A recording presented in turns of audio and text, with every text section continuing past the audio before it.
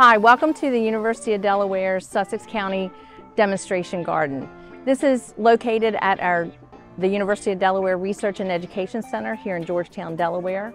This garden is a one acre garden comprised of 30 smaller gardens, all maintained by the Sussex County Master Gardeners.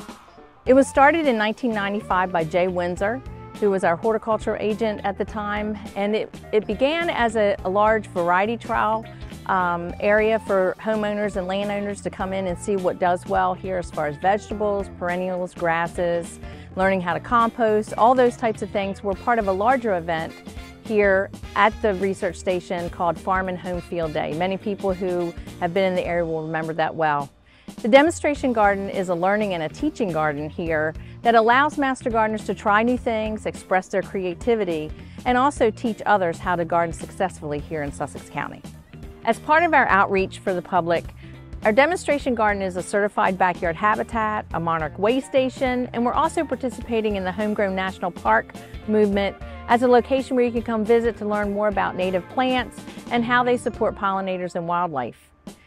Join us for workshops, tours, and programs. There's so many different gardens. We have meadows, we have shade gardens, our patio area, our children's garden, many different types of raised beds for those of you that would like to do that as well.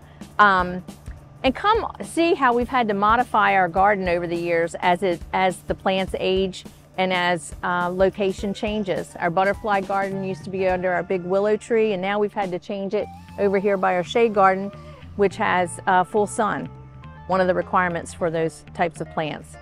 Our garden is a, listed as a hidden gem here in Sussex County. We hope you'll come visit us.